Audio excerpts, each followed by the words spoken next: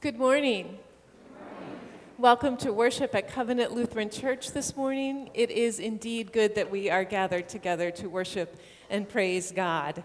For many things, least of all, some nice, gentle, light rain that we could um, probably like to keep going um, for the sake of our crops.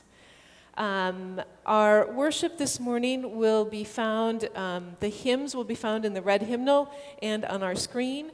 Um, parts of the liturgy uh, will be found from the booklet, Now the Feast and Celebration, that's in the back of the red hymnal.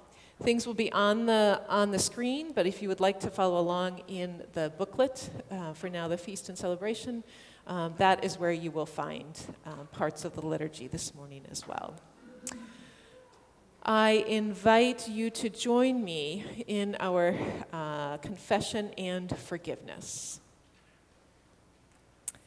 Blessed be the Holy Trinity, one God, who greets us in this and every season, whose word never fails, whose promise is sure.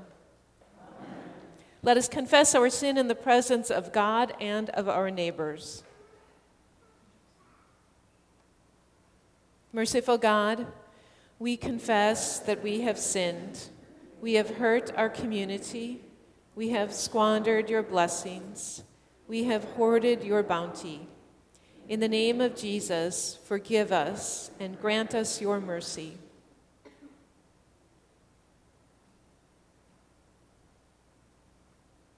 Righteous God, we confess that we have sinned. We have failed to be honest. We have lacked the courage to speak. We have spoken falsely. In the name of Jesus, forgive us and grant us your mercy.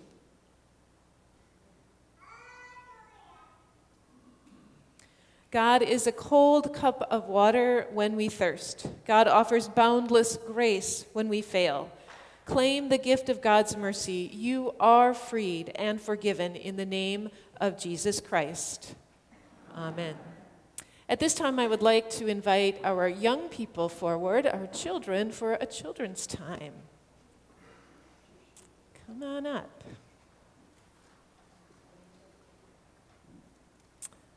Hello, hello, everyone.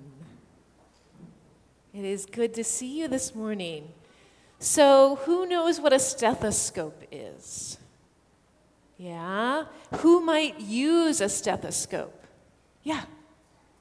Scientists? Hi, Stella and Paula. Who else might use a stethoscope?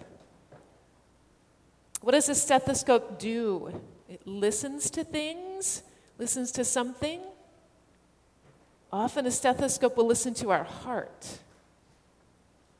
So, who might use a stethoscope besides a scientist? Anyone? Ideas? A doctor or a nurse? Yeah, absolutely.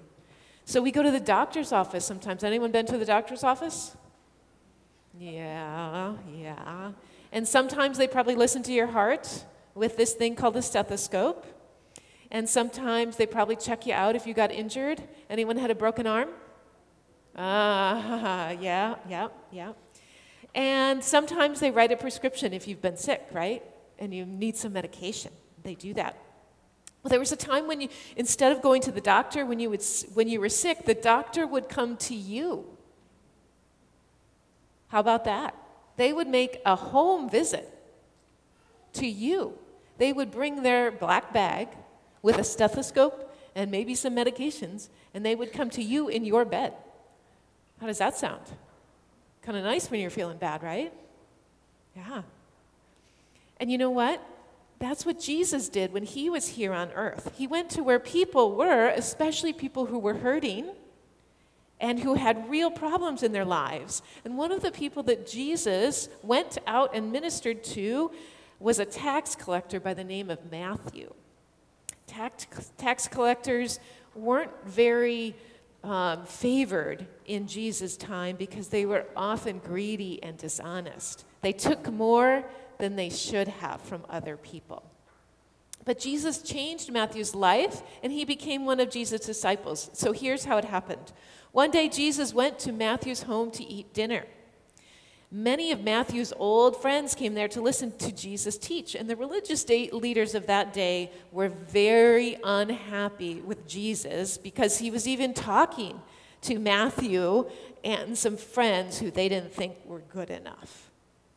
So they asked his Jesus disciples, "Why does your master eat with these sinners?" But Jesus heard them and he answered for him, for them, and he said, "It isn't that those are healthy. It, it isn't those that are healthy that needs to go to a, that need to go to a doctor. It's those who are sick." Jesus says, I did not come to call the righteous, those who are all right with God. I came to call sinners to repentance.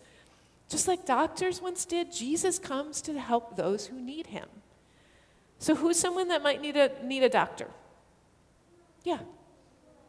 People that are sick. Yep, absolutely. So, is there anyone here who has never been sick? No? Okay. So, who needs Jesus? Who needs Jesus? Who might need Jesus? That are sick? Yeah, Clarissa?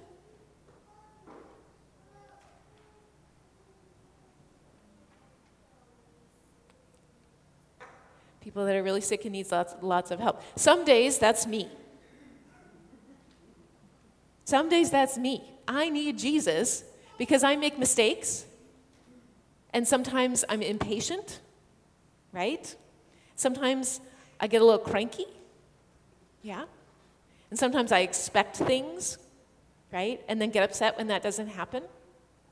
See, um, Jesus is for everyone because has, is there anyone here who has not sinned or done anything wrong? Anyone who hasn't sinned, raise your hand. All right, so we all need Jesus, but that's the great thing. We have him because we've all sinned and fallen short of Jesus. So we all need Jesus. We're all in this together. And it's super, super great eh, because Jesus comes and he tells us how much we love him. And then we get to go out and tell others how much Jesus loves us. And that is so, so great. So we get to take the, the love of Jesus and Jesus' medicine of forgiveness and grace out to those who don't know Jesus or who maybe have forgotten it for that day when they're not feeling especially good about what they did. Right? All right. Let's pray. It's a repeat after prayer. Repeat after me prayer. Dear Jesus, help us to be willing to go to those who need you and tell them of your love. Amen. All right, thanks for coming up.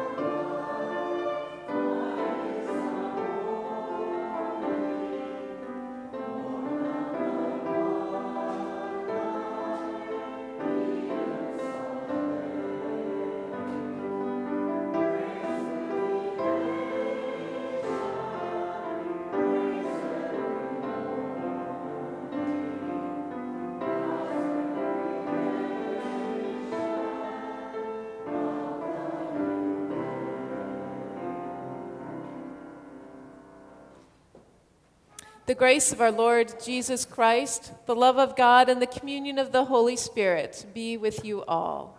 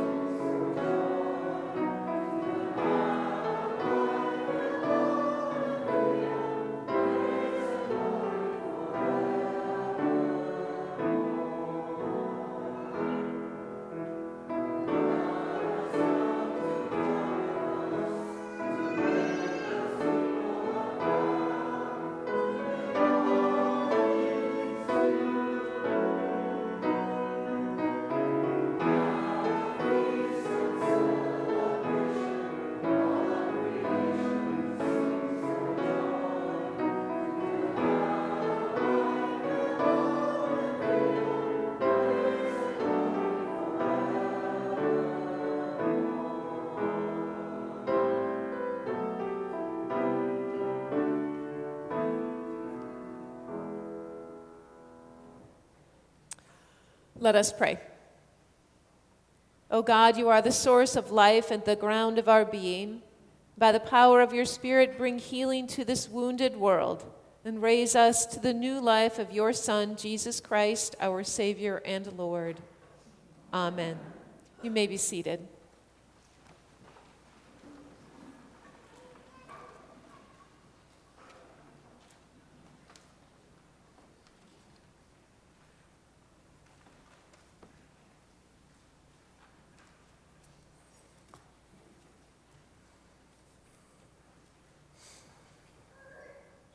First reading is from Hosea, the fifth and sixth chapters.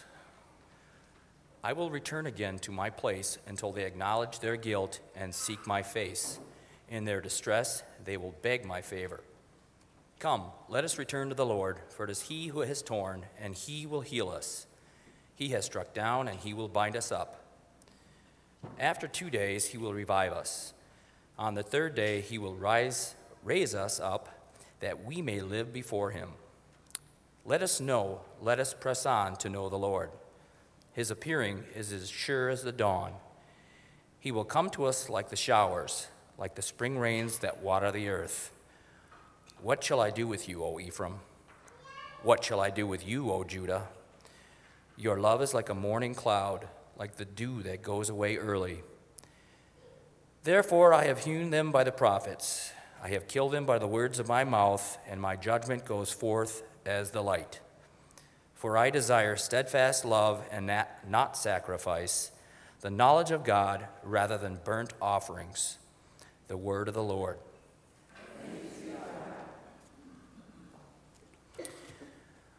Second reading is from Romans, the fourth chapter.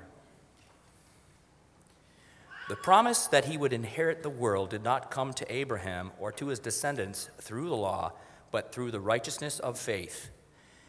If it is the adherents of the law who are to be the heirs, faith is null and the promise is void. For the law brings wrath, but where there is no law, neither is there violation. For this reason, it depends on faith, in order that the promise may rest on grace and be guaranteed to all his descendants, not only to the adherents of the law, but also to those who share the faith of Abraham. For he is the father of all of us, as it is written, I have made you the father of many nations, in the presence of the God in whom he believed, who gives life to the dead and calls into existence the things that do not exist. Hoping against hope, he believed that he would become the father of many nations, according to what was said, So numerous shall your descendants be. He did not weaken in faith when he considered his own body, which was already as good as dead, for he was about a hundred years old, or when he considered the barrenness of Sarah's womb. No distrust made him waver concerning the promise of God, for he grew strong in his faith as he gave glory to God, being fully convinced that God was able to do what he had promised. Therefore, his faith was reckoned to him as righteousness. Now, the words, it was reckoned to him, were written not for his sake alone, but for ours also. It will be reckoned to us who believe in him who raised Jesus our Lord from the dead who was handed over to death for our trespasses and was raised for our justification. The word of the Lord.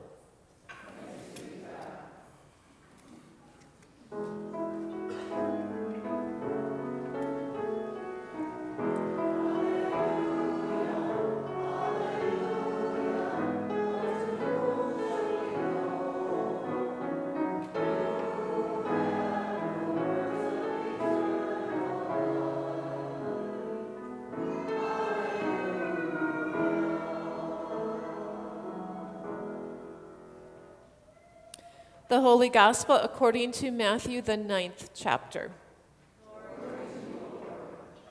As Jesus was walking along, he saw a man called Matthew sitting at the tax booth, and he said to him, Follow me.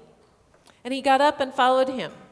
And as he sat at dinner in the house, many tax collectors and sinners came and were sitting with him and his disciples. When the Pharisees saw this, they said to his disciples, why does your teacher eat with tax collectors and sinners? But when he heard this, he said, Those who are well have no need of a physician, but those who are sick. Go and learn what this means. I desire mercy, not sacrifice. For I have come to call not the righteous, but sinners. While he was saying these things to them, suddenly a leader of the synagogue came in and knelt before him, saying, my daughter has just died, but come and lay your hand on her, and she will live. And Jesus got up and followed him with his disciples. Then suddenly, a woman who had been suffering from hemorrhages for 12 years came up behind him and touched the fringe of his cloak. For she said to herself, If I only touch his cloak, I will be made well. Jesus turned and seeing her, he said, Take heart, daughter, your faith has made you well. And instantly the woman was made well. When Jesus came to the leader's house and saw the flute players and the crowd making a commotion, he said, Go away, for the girl is not dead, but sleeping. And they laughed at him. But when the crowd had been put outside, he went in and took her by the hand, and the girl got up. And report of this spread throughout that district. The Gospel of the Lord. You may be seated.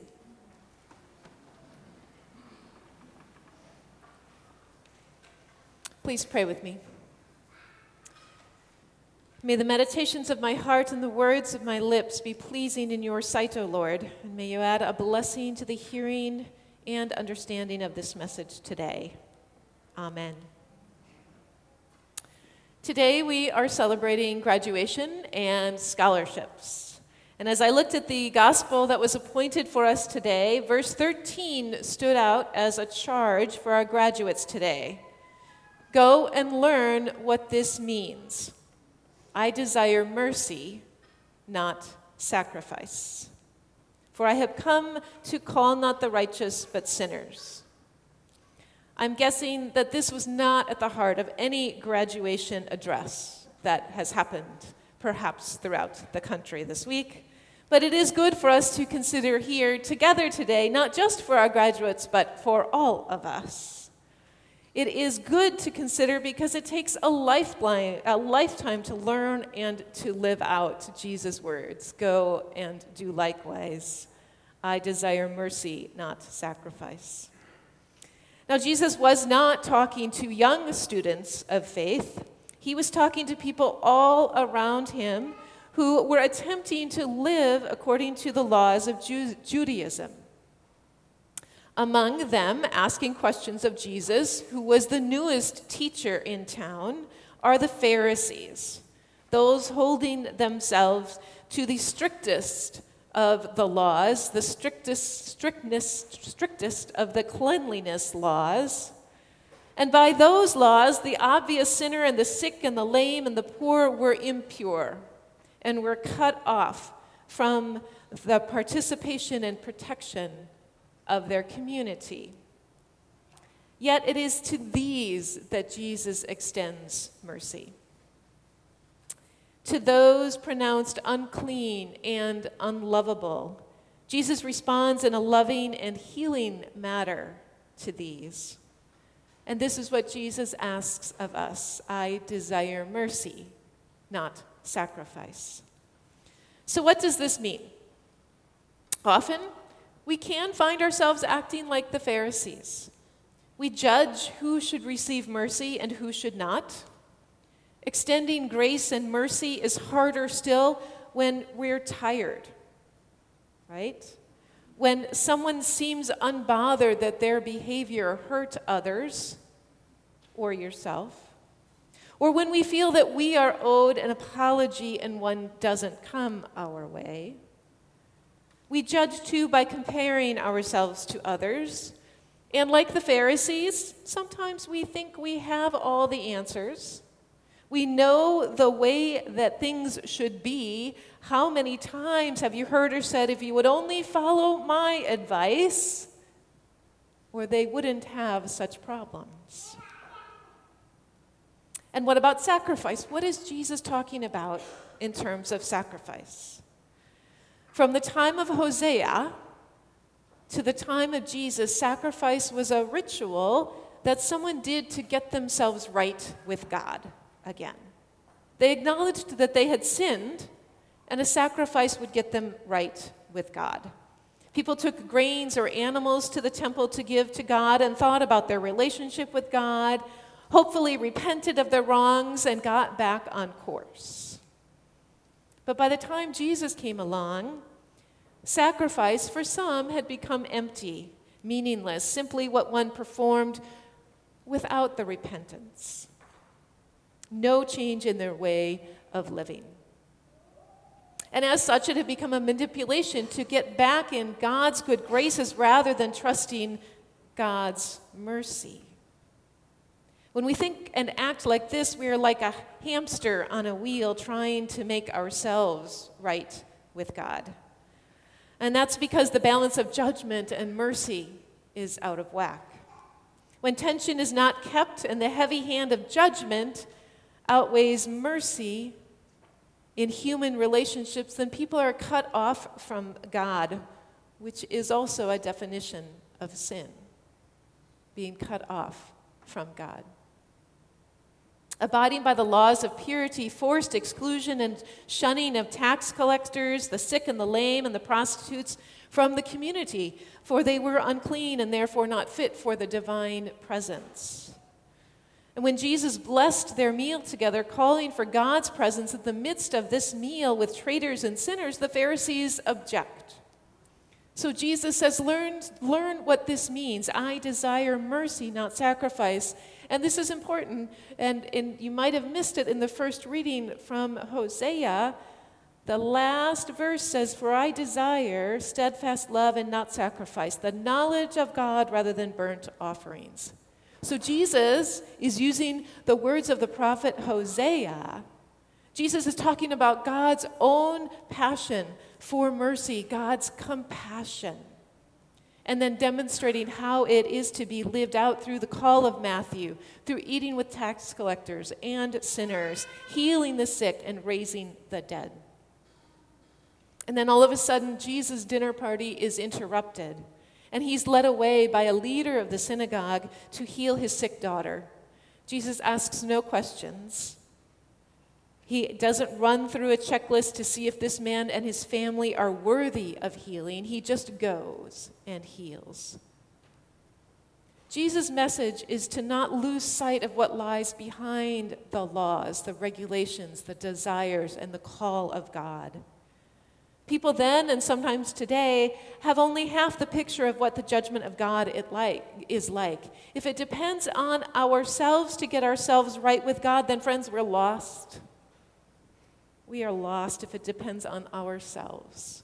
What Jesus is saying is that what lies behind the law is that everyone was so desperately trying to keep to make themselves right with God is, in fact, God's mercy.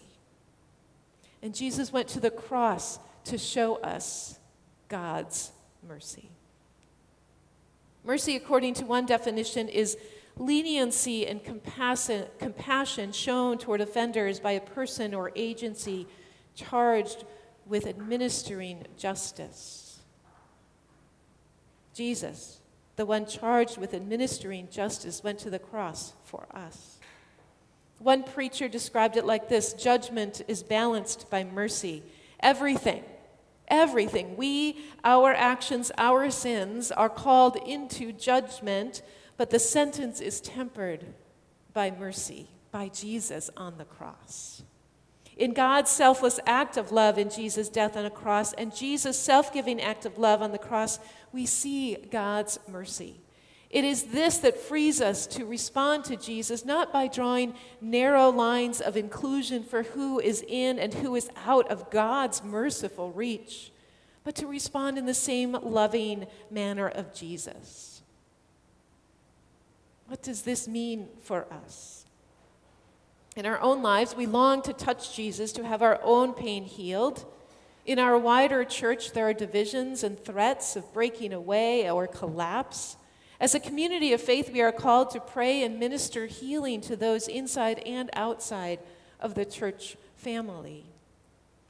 As exciting as the life passage of graduation and continued education and life is, finding a different we are always learning, always growing, and growing up. And I think understanding and sharing, the understanding and sharing of God's mercy, mercy is one of these lessons that is lifelong. Through Jesus, many receive a deep, rich mercy that can only come from God, a mercy that Jesus asks us to give to those around us. In a moment, we will sing, Will You Come and Follow Me? Graduates, in your baptism, God called your name. People of God, in our baptisms, God called our names. Jesus calls us now to follow him, to follow him to new and unknown places, to never be the same, to show his love and share his name. May we know and accept that we will always be learning what Jesus wants mercy, not sacrifice. May we share each other's burdens. May we show the expansiveness, not narrowness, of God's mercy. May we grow in Jesus' mercy and love together. Amen.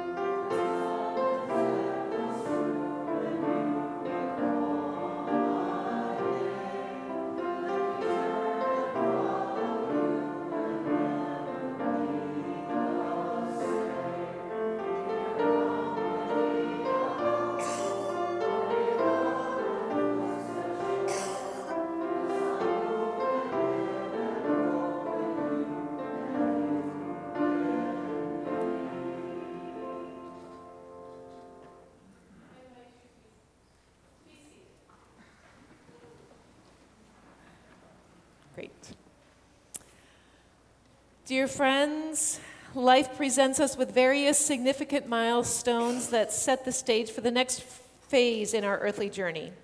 Graduation from high school is one of these milestones, and today we wish to honor those who are moving through this special time of accomplishment, transition, and change, and to show them that we, their community of faith, stand with them and support them as fellow believers in Jesus Christ.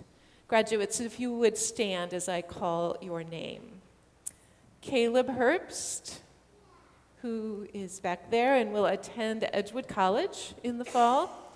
Malia Rippey, who is attending Oshkosh, Eve Wevley, who's going on to school to become a dental hygienist, and Tanner Wevley, who's going on to, become, to study radiology.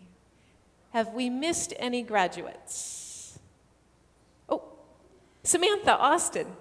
Come on, stand up, please. Absolutely. Wonderful. And Samantha, I have here, you are going to UW Eau Claire. Excellent. Here is a reading from Jeremiah. For surely I know the plans I have for you, says the Lord plans for your welfare and not for harm, to give you a future with hope. Then, when you call upon me and come and pray to me, I will hear you. When you search for me, I, you will find me. If you seek me with all your heart, I will let you find me, says the Lord. Dear graduates, at this special time in your life, we are eager to show you how delighted we are that you have reached this milestone in your life. As fellow members of this community of faith, we rejoice with you and want you to know of our pride and excitement as you move from this accomplishment into the next phase of your life. We also want you to know that wherever you go, and whatever you do, you are going forward with our prayers for God's continued guidance, power, protection, and strength. Let us pray. O Lord Jesus Christ, when you welcomed the children, your invitation included each one of us. Your guiding hand has continually been upon these young people. You have sustained them. You have shared in their laughter and wiped away their tears. In times of confusion, you have offered direction. In times of sorrow, you have offered hope. In times of doubt, your Holy Spirit has lifted them up. Grant, O Savior, to each of these graduates the knowledge of your continued presence as they go forth into the future. Bless them and keep them, guide their steps, hold them in the hollow of your hand. Bless them and keep them now and forever. Amen. Members and friends of this congregation, will you promise to keep their, these graduates and their families in your thoughts and prayers as they go forth into the future? Will. will you, as believers in Jesus Christ, promise to help these young people as need and opportunity arise? Now, I ask all of you, you may hold out your hand toward the graduates, and there's one in the back there too. There you go. We've got everyone covered. May the Lord bless you and keep you. May the Lord watch over you and keep you safe. May the Lord guide your every step. May you always know of our unending love for you. Amen. All right, I invite the graduates to be seated until you're called upon to stand again as we recognize our scholarship recipients. Um, and let's go to the names before we get to the blessing. Do we have a, there we, there we go. Thank you. All right. Um, Samantha Austin. Please stand. Yep. Standing for, um, uh, these are folks who have received um, uh, uh, scholarships from our foundation. Um, Jonathan Morris, who will continue his studies at UW Madison. Nadia Oveda, who continues at Edgewood. Tim Strandley. Are you here, Tim? Something must have come up. He's doing some continuing education. Uh, Malia Rippey, who's headed to Oshkosh. Eve Wevley for dental hygienist. Tanner Wevley for radiology. Caleb Herbst for Edgewood College. And Courtney Toso goes back for her second year at, at Edgewood as well. Um, so now, here is our scholarship recipient blessing. Absolutely.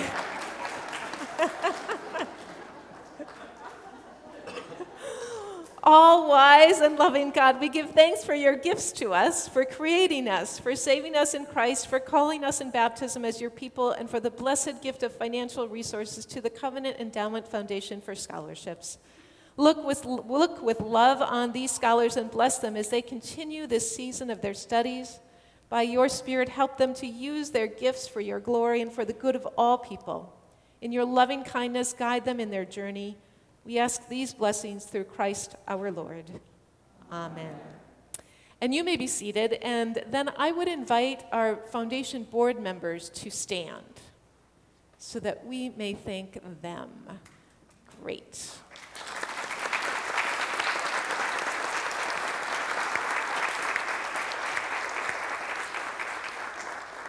Not everyone was available to be with us, but um, we also have provided the um, the fellowship hour time and goodies. Um, and so we hope that everyone will join us. And just uh, again, um, congratulations and many blessings to you, to all of you as you go forward. Um, and we couldn't be prouder of you. And let's give them another round of applause.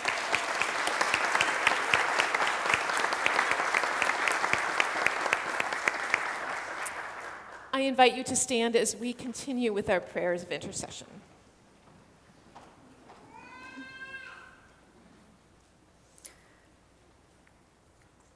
Trusting in God's expansive love and mercy, let us pray for the world, the whole church, and all in need. You invite your church to speak a truth that challenges false and binary ideas of peace. Grant your all embracing wisdom to all who lead the church. Help them to raise the voices of the most marginalized in our midst to bring your heavenly realm to earth. God of all, receive our prayer. Throughout each day, even the dawn and dusk filled skies transition in a prismatic rainbow of colors. You have made all things well and holy. We repent of our misuse of your beloved creation. Help us to protect our natural habitats. Empower and elevate the voices of those who advocate for all responsible stewardship of the earth's precious resources. God of all, Receive our prayer. Countless individuals within our collective body are at risk of harm due to ignorance, hate, racism, sexism, fatphobia, homophobia, and transphobia. Shield our siblings, particularly black, brown, indigenous, Asian, Pacific Islander, and immigrant persons who confront cruelty urge leaders to implement policies that safeguard our most vulnerable siblings, and encourage us to speak out loudly against injustices and harm inflicted upon them. We stand with all our siblings experiencing war and conflict, especially the people of Ukraine. God of all, receive our prayer.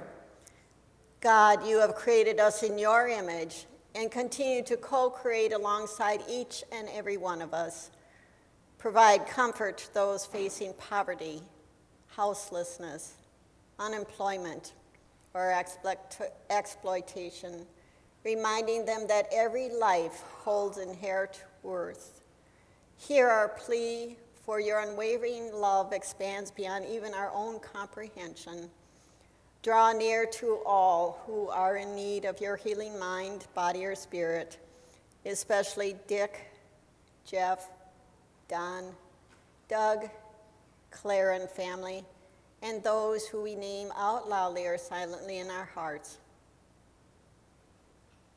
God of all, receive our prayer.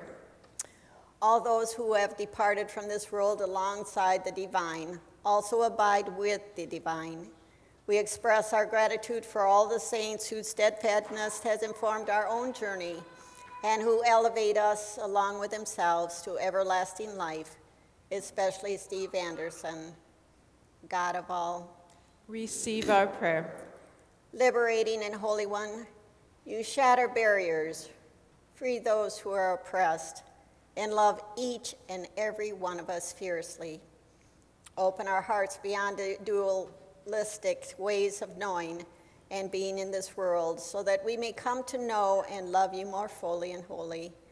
We commend these prayers in love, justice, and thanksgiving to you in the name of Savior Jesus Christ. Amen. The peace of Christ be with you always. Let us share a sign of peace with one another.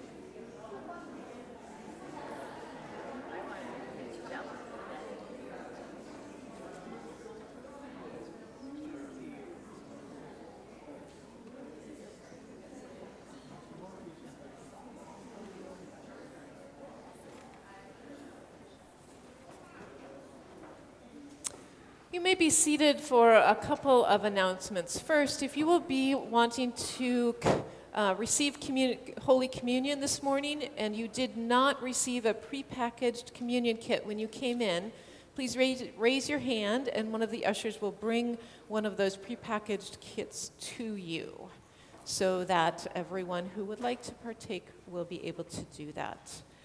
Um, again, if you are planning, and, and we hope that you will attend our 50th anniversary celebration of Covenant, um, of the merger that created Covenant on June 25th. Uh, Sunday, um, we hope that you will join us for the wor- for the worship, a program, and then a luncheon afterward. If you have not RSVP'd for the luncheon, um, and you plan to attend, please see the ushers, and they have a, um, a sheet of paper, a half sheet of paper, where you can write your name and how many people um, will be attending. Um, and we are also looking for RSVPs for the stepping stones that will happen on June 21st.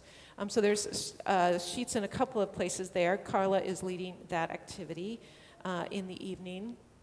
Please take a moment to update your family information um, uh, on the table, the one of the high top tables there, so that we can um, have it correct in our guidebook when that comes out later uh, in the year. Finally, um, June is a time to celebrate the diverse identities of sexual orientation and gender identity. And you'll see a heart on the, um, on the wall of, in the narthex there next to the announcement uh, screen. And we hope that you would take some time to write positive messages and words of affirmation so that those in our LGBTQIA plus community will have a sense of belongingness, that we show them that they are celebrated and safe here at Covenant, and that we walk alongside them on this journey. And to that end, this isn't only about June, right? This isn't something we just do in June. This is something that we're looking at doing throughout the life of Covenant. Um, and so, tomorrow evening during the social action meeting, um, there will be sort of a first round of crafting what would be presented to Covenant at a congregational meeting to be our welcome statement. And if you want to know more about any of that, please talk to me or Gary Tarpinian. Um, I don't see John here today, but uh, John Sorrell um, is also leading that effort along with Gary. I think that is all of the announcements, and so I would invite us to stand, and if our ushers could bring the offering forward, please.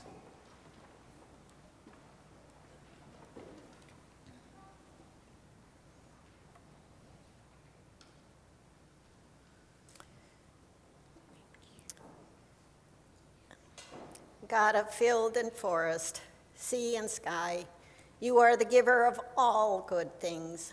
Sustain us with these gifts of your creation and multiply your graciousness in us, that the world may be fed with your love through Jesus Christ, our Savior and Lord. Amen. The Lord be with you. Lift up your hearts. Let us give thanks to the Lord our God. It is indeed right, our duty and our joy, that we should at all times and in all places give thanks and praise to you, Almighty and merciful God, through our Savior Jesus Christ, who on this day overcame death and the grave, and by his glorious resurrection opened to us the way of everlasting life. And so, with all the choirs of angels, with the church on earth and the hosts of heaven, we praise your name and join their unending hymn.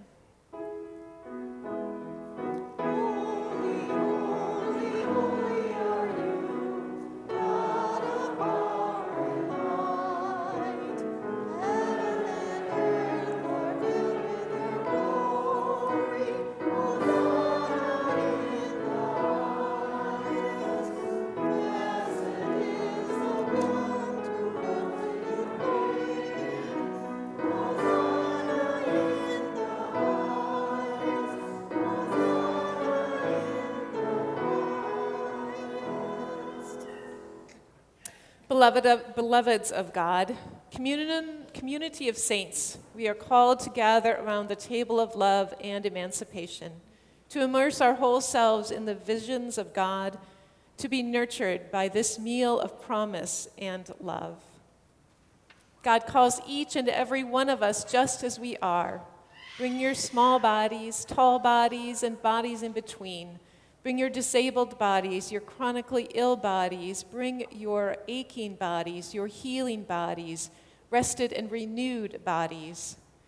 Bring your trans bodies, bodies yearning to be free, bodies destined for metamorphosis. Bring your scarred bodies, pierced bodies, and tattooed bodies. Bring your perfectly imperfect bodies. Bring all of you. There is more than enough room. Christ invites us to the table of abundance and nourishment to be fed. Come and be fully fed. Come just as you are. Come out, come in. You are welcome here. As we are united together in this holy meal, we remember all the ways that Christ has shown up for us through the birth, life, death, and resurrection of the Holy One. On the night that Jesus' closest friends handed him over, Jesus sat at a crowded table surrounded by those he loved the most, talking, sharing, and connecting. As he was spending his last meal with his beloveds, Jesus took bread and gave thanks, broke it, and shared it with the disciples, saying, Take and eat. This is my body given for you. Do this for the remembrance of me. When the meal was over, he took the cup, gave thanks to God, and shared it with his disciples, saying, Drink from this, beloveds. This is the cup of the new covenant in my blood, shed for you and for all people. Do this for the forgiveness of sin. Do this in remembrance of me. Holy Spirit, come over this meal, meal fill us to the brim with the blessings that only you can give. Give us new and re- Give us new and receptive hearts for all that you have in store for us, for the sake of our community, for the lives lost and the lives yet to come, for the land where we dwell. Feed us wholly until the day we meet our Creator face to face. Amen. Gathered into one by the power of the Holy Spirit, let us pray as Jesus taught us. Our Father in heaven, hallowed be your name. Your kingdom come, your will be done on earth as in heaven. Give us today our daily bread. Forgive us our sins as we forgive those who sin against us. Save us from the time of trial and deliver us from evil. For the kingdom, the power, and the glory are yours, now and forever. Amen. All people are called to Christ's table. Let us eat and drink what is good. At this time, I invite you to peel back the top layer of your prepackaged communion kit, take out the bread and hold it up. The body of Christ given for you. Amen.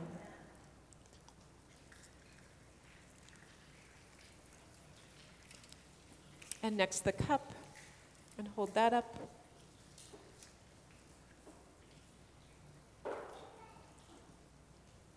The blood of Christ shed for you. Amen.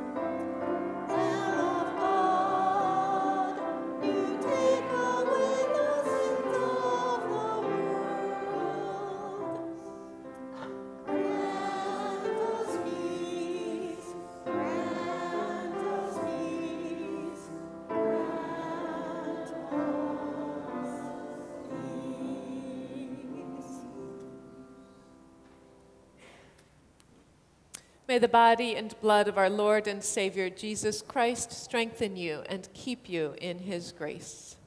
Amen. We thank, excuse me, we thank you, gracious God, for the refreshment that we have received at your banquet table. Send us now to spread your generosity into all the world through the one who is our dearest treasure, Jesus Christ, our Savior and Lord. Amen. Beloved siblings in Christ, let our hearts overflow with love and compassion as we enter the world in peace.